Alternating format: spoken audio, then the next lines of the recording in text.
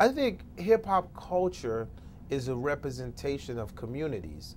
So wherever you go, like you go here, you go to Pakistan, you go to Russia, and wherever you go and you look for the hip hop culture, it's going to be an expression of what that environment is going through. Um, and the kids are probably going to be talking about the topics of what's going on within that environment. So, you know, you might be in the States and be like, yo, this rap stuff's all about bling bling and gangsters and, you know.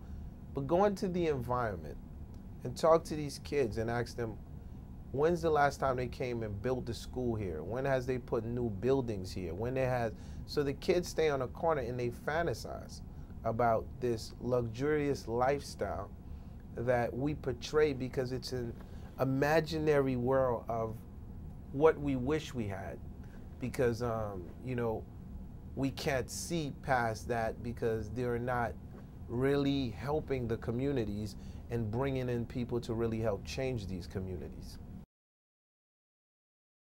Yeah, I think there's two forms of imaginary worlds. There is the imaginary world where, you know, you watch the TV and you think you can get it like that. That's killing the kids. That's wrong. You know what I'm saying? Because I was imagining that I was going to play at Madison Square Garden, but I was working in a fast food restaurant. Okay, kids? So that's the truth.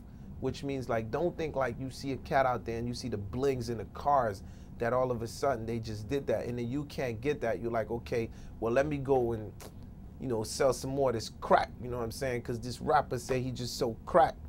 Well, the rapper that told you he's so crack, he ain't selling crack no more. And if he does, he going to jail. You understand? And after he told you he's so crack in the lyrics, he's back in a nice mansion.